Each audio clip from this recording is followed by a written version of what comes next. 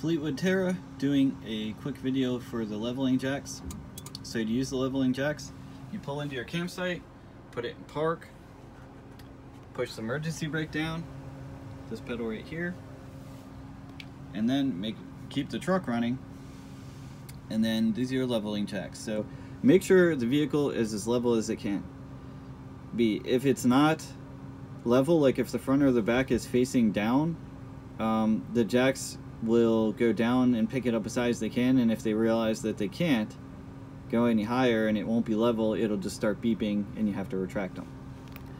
So once you get there you turn them on. You see the little lights come on and you just hit auto.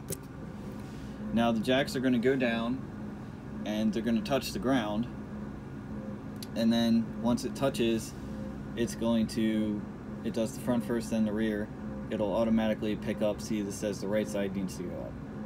If you want to do it manually, instead of hitting auto, you just hit manual, the jacks will go down till they touch the front and the rear, and then it'll let you adjust it. The front's going to do the front two, rear, rear two, right, right two, left, left two. You can only do two at a time. And the little arrow is going to indicate which side needs to go up.